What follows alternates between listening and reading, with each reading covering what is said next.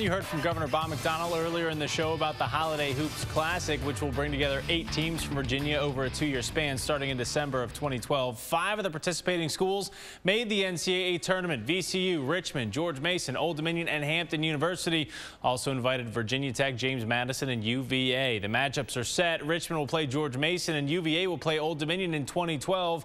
Hampton and James Madison square off in 2013, followed by VCU playing in a neutral court contest against Virginia Tech.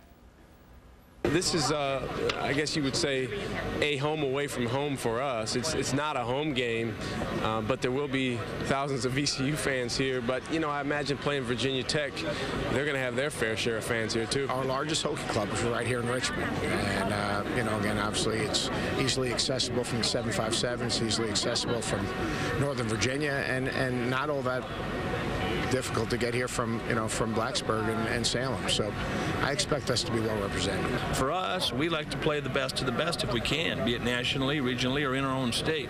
So, you know, we're thrilled that this is probably the strongest programs for the most part in our state. It's been an idea that's been floating around for a while, and I think the governor really took hold of it and got excited about it, and he got his kind of weight of his office behind it and made it happen. To get Virginia, Virginia Tech involved, major state universities, you need the governor to get involved with it. Proceeds from the tournament will benefit the Virginia Food Bank.